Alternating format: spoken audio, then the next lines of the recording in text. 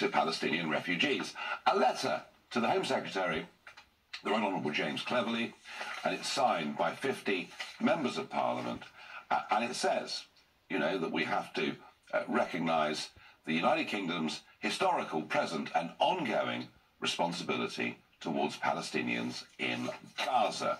Now, look, there are a lot of people in Gaza going through an awful time.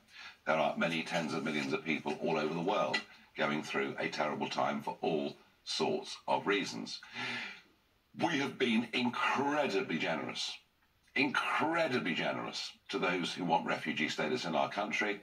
About half a million people since 2016 have been granted refugee status in Britain, albeit some of them, those from Ukraine, are supposed to be on a temporary basis. But I, I really wonder when it comes to Gaza, and I say that because if already 46% of the established British Muslim population are, according to a recent poll, supporters of Hamas, what would that percentage be of people that come from Gaza? And I worry about integration.